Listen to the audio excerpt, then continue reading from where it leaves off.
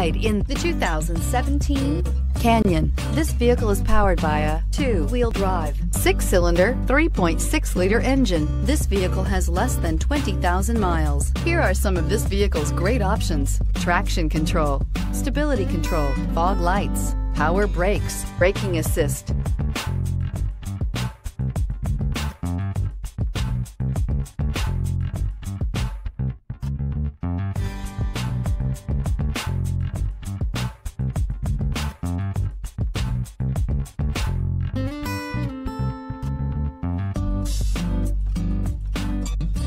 Inside you'll find rear view camera, cruise control, trip computer, child safety locks, overhead console, trip odometer. If you like it online, you'll love it in your driveway. Take it for a spin today.